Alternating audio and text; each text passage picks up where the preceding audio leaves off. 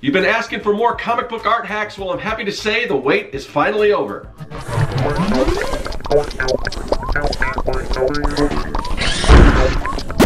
Greetings, people of the internet. I'm Scott with Serkworks Art Labs. Welcome, mad creators, to the underground laboratory where we create robots, aliens, zombies, and other imminent threats to humanity. We also create comics, and from time to time, well, actually, I've only done this once before. This is the second one. This is the uh, a sequel, I guess, or it's just an extension of the comic book art hack videos that I did. It's probably one of my more popular videos on the channel, so a lot of people have been asking me to do more. And in addition to kind of some of the tips that I gave you, in response, a lot of you guys are giving me tips. So a lot of these tips are from you guys, so I really appreciate that. But I, I, I thought I would take some of these other tips and kind of uh, kind of compile them, along with some new tips that kind of I thought of that uh, that may help you you out. So before I get going, I want to I want to kind of touch on a few things before I get into the actual hacks. First of all, so these are tips for traditional artists, okay? So I get a lot of digital people just saying, you know, oh, it's just easier to do digital or whatever. And and you're probably right. In a lot of ways, it is it is easier to go digital on and do digital techniques on a lot of these things. Unfortunately, it's really hard to do a traditional, I mean, a digital comic book art hack video because it just basically, you know, use this shortcut or use this command or whatever. So it, it, I, those I, I can't really figure out how to do a, like a decent art hack video on digital. So if I do, maybe I'll put one together. But anyway, so this is more for traditional or people like me who kind of use a combination of, of traditional uh, illustration and digital techniques to complete their comics. So the other thing I want to say is these are art hacks. So basically, I get a lot of comments saying, why don't you just buy better materials or whatever? of course, that's probably the way to go if you can afford it or if you happen to have those on hand. But sometimes you're in a position where you don't have all those tools, so you just need to hack something together. That's the whole idea of an art hack. Now, almost all of these tips or hacks, whatever you want to call them, there's probably better ways to do them. Some of them will cost a lot more money, more time, or whatever, I don't know. But this is a hack video. So when you say, why don't you just use better ink? Okay, yeah, you can use better ink. If you don't have great ink with you, you can leave the leave the cap off and it will thicken up a little bit. That was a tip from the first one. So stuff like that. So I understand that if you if you you know buy top of the line art supplies or whatever that they will probably work better, but these are hacks, okay? So with that out of the way, I do want to get into do some of these new art hacks. So what we're gonna do is we're gonna go up here to the paralleloscope and check out some hacks.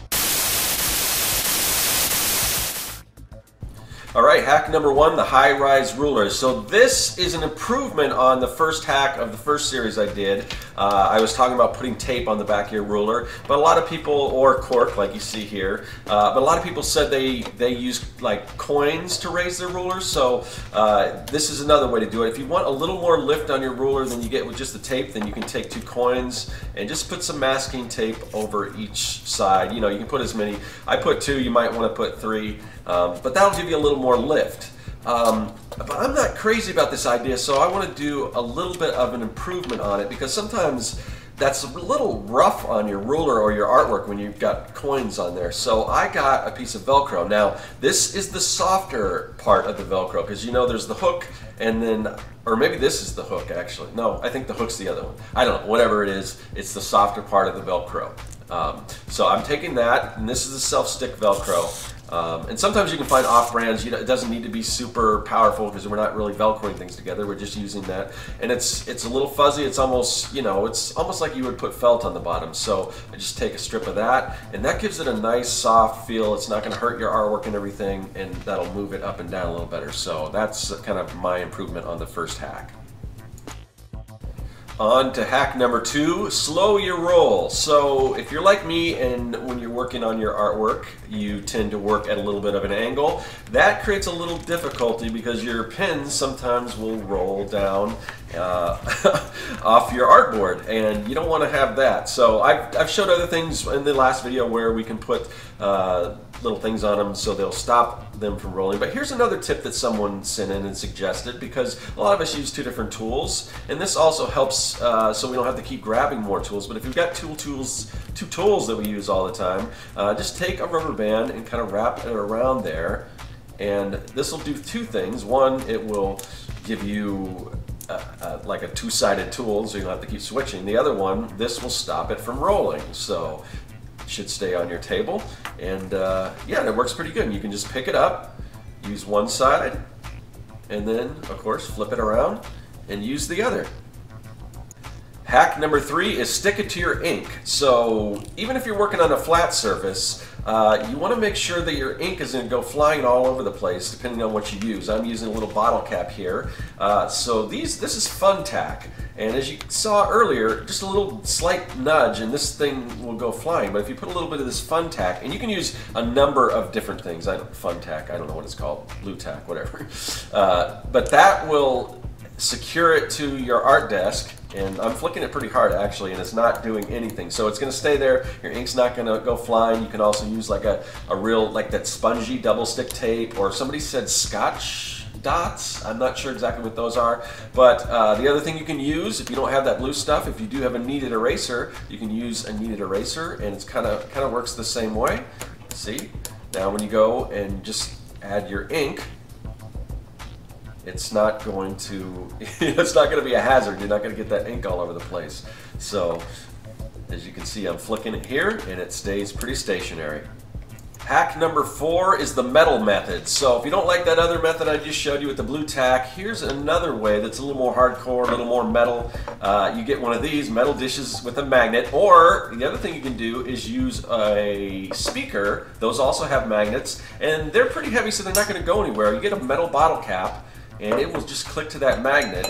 And there's a little more, you know, if you want to move it around, that's it, it works a little more. The other one kind of stays where it is, but if you need to move it, but you don't want to bump it and have it go flying, this is another great alternative, uh, and I kind of like this idea.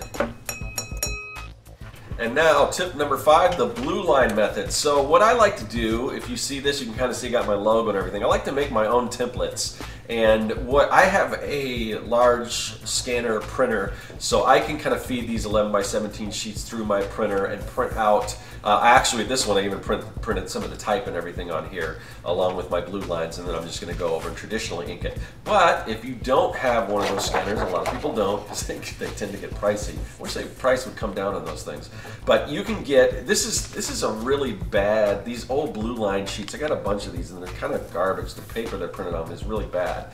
So if you want to make your own, now they do sell pre-printed that you can get, but some of them aren't that great, or maybe you want to just do a different uh, kind of paper. Maybe you want to do, maybe if you're doing watercolor uh, instead of traditionally or digital coloring, you're doing watercolor, whatever, you want to use watercolor paper, paper or like a, uh, you know, a thicker like Bristol, um, you want to make your own template. So here's a way to do that. And you can either rule it out yourself, however you want, or you can just get one of these pre-made templates um, but if you, like I said, if you want to use a different kind of paper, here's what you're going to do. You're just going to go through and you are going to cut along the, there's two, on this particular template, there's two borders. So we're going to cut along the inside of this border.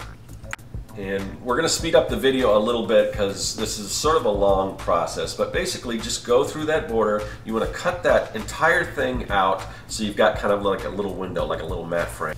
Next, what you want to do is along the sides, there are some little guides, and those are going to help you, like when you're using your ruler and everything, so you know, you know, they're kind of broken up so you can do your panels and everything like that. Most uh, comic book layouts have those, but you can, if you're doing it yourself, you can rule them however you like. But I'm just going ahead and just cutting a line along each one of those.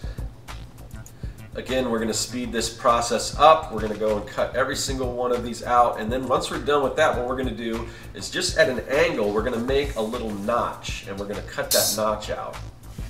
Now, you can see what I'm talking about right here. See, I've just cut that off. And then I'm going to go ahead and do that same thing to all of the different, uh, different places where I've already made those cuts. So just go ahead and repeat that process, go all along, cut those notches out.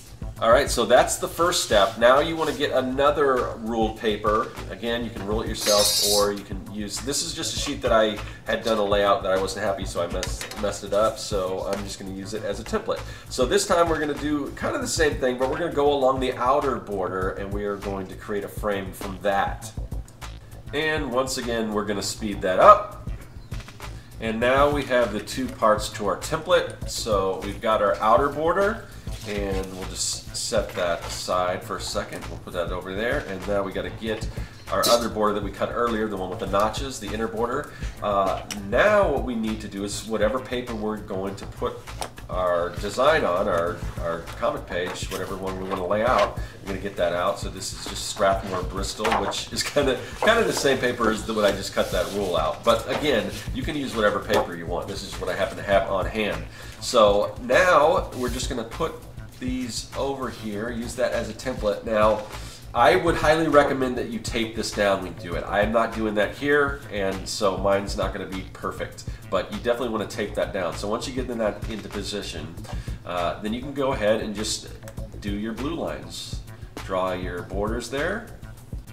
Now, where you made those notches, you're just going to draw a straight line on the bottom, the straight part of that notch. And obviously the little angle is just so you can get in there and make the line. So go ahead and do that all around your, your template. Now get your other template, the one with the outer frame, lay that down, and again, you probably want to tape that down. Don't do what I'm doing, do as I say, not as I do. And go ahead and make that outer line.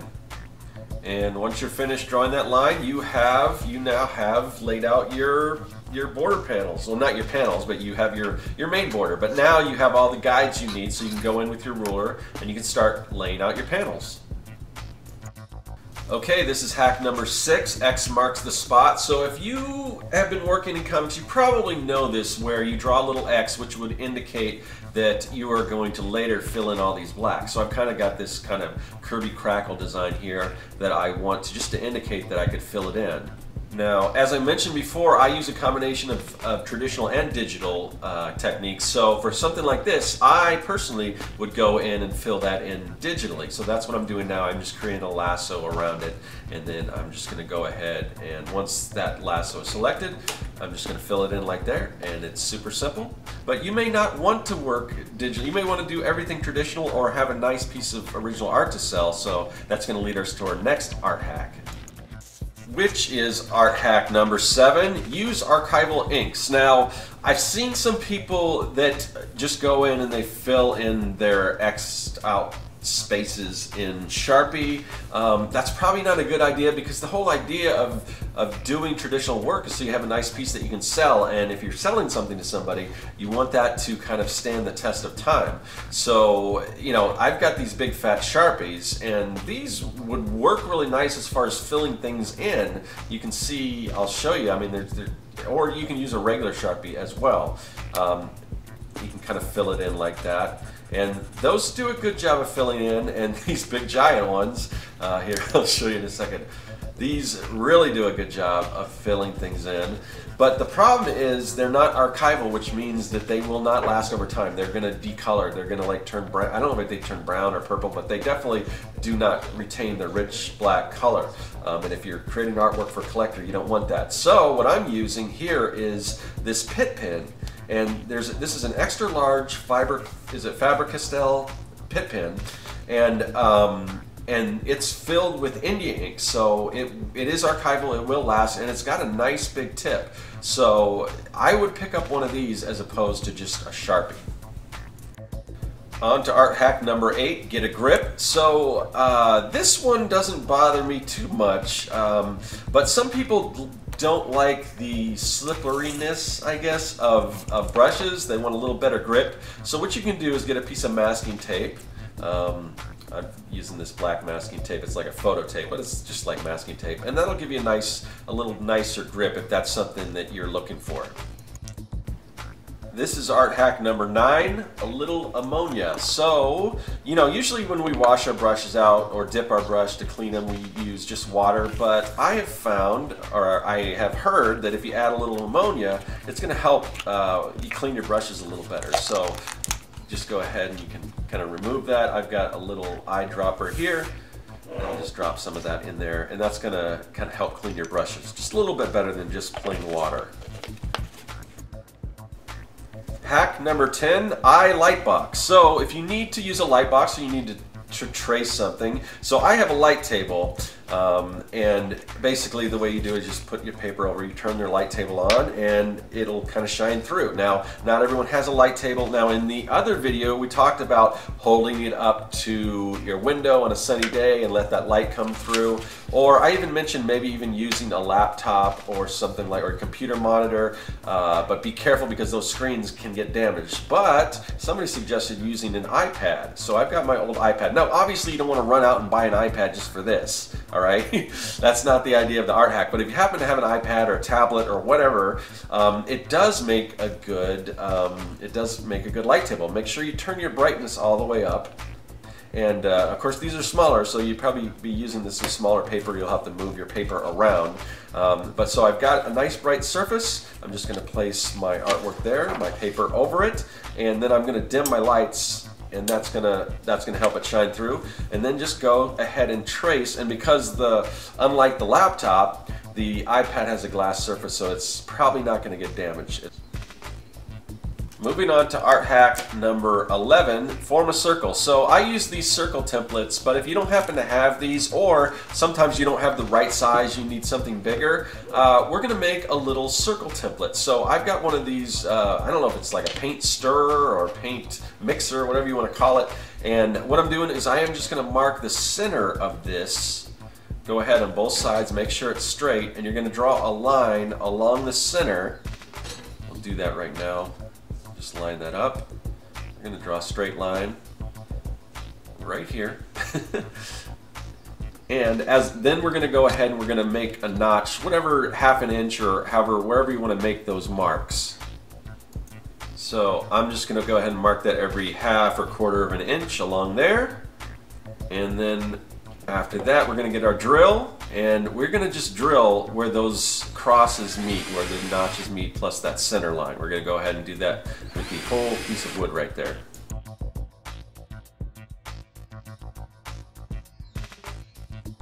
And there you go, we have that. And if you want, you can sand it to kind of get some of that stuff out of there, but that's pretty much the gist of it. Okay, let's test this thing out. So we've got our pencil and I've got a little thumbtack that I'm going to put on the end and then I'm just going to kind of rotate it around there. I guess you kind of got to wash your hand. Um, it takes a little practice, but you'll get used to it after a while and then uh, with some practice you'll get some good circles. And finally we reach art hack number 12, the noodle caddy. So you can get a pool noodle or one of these, it's kind of like a foam insulation for pipes. I like those, it's kind of, if you want it sort of more of a black look or if you want something fun. Actually the, the colorful one might look better in the underground layer, but I'm going to use this one because I think most people probably prefer this. And basically what you're going to do is cut along this. Now this is a hack that I got, I pretty much stole it from my friend Corey Kerr who did a video showing me this and I thought it was so ingenious. Um, so anyway, so yeah, so you can see this has sort of a, a, a, line you can cut through. It's kind of marked, but it's not cut all the way through. So you're just going to cut that down the center, and same thing with if it is a pool noodle, you'll have to make your own line. But there you go, and now it kind of opens up. Now that you do that, what you want to do is you want to just go through, and we're cutting a lot of notches on these videos, so we're cutting more notches. So just go ahead and just wherever you want, kind of space them out, but we're going to cut notches there. And it should look a little like this when you're done. Now all we're going to do is we're just going to pop that on to the side of our art desk. You got a nice little thing. It might even work on the bottom, like a separate one on the bottom is like if you want to rest your wrist on it. Um, but anyway, so those little notches we cut now, we can just put our tools in there. So they're just kind of readily available for us to grab. And uh, I don't know, I kind of like this, this tip. It's a great one. So thanks, Corey, for that.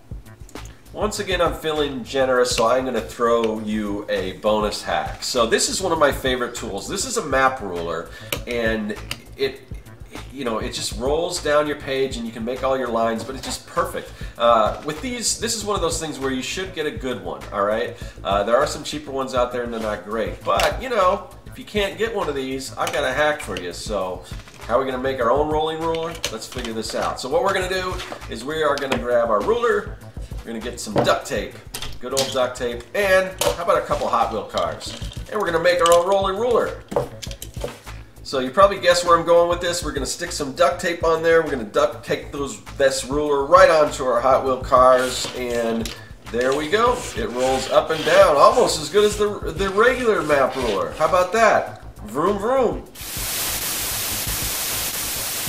All right, so there you go. That's 12 more art hacks to add to your arsenal. Of course, there's those bonuses at the end. And if you weren't really sure, that last bonus was kind of a joke, all right? That's not really, uh, you know, taping Hot Wheel cars to a ruler. This not really something I would probably recommend, and it probably doesn't work very well. But anyway, but I do recommend getting one of those rolling rulers. So yeah, those are the tips. Uh, yeah, so if you guys, I assume you've been watching this, probably interested in comics or whatever. So if you got your own art hacks, let me know in the comments section. Also, I want to let you know that I do comics as well. This is my comic book, Young and the Dead. It's a kids versus zombie story. It's like Goonies meets Night of Living Dead. This is the third issue. I am working on the fourth issue. Hopefully it'll be done soon, and you'll probably see more of that progress on this channel as I try to wrap everything up and get that stuff complete. But anyway, that's all I have for this video. I will see you guys later. That is all. Hey everyone, thanks for joining me here in the Art Lab. There's a lot of other great content on the channel, so click that subscribe button and you won't miss a thing. If you're an aspiring evil genius, visit Serkworks.com for all your mad science supply needs. And if you want to contact me, hit me up in the comments section or follow me on social media. I'm looking forward to it. I'll see you then.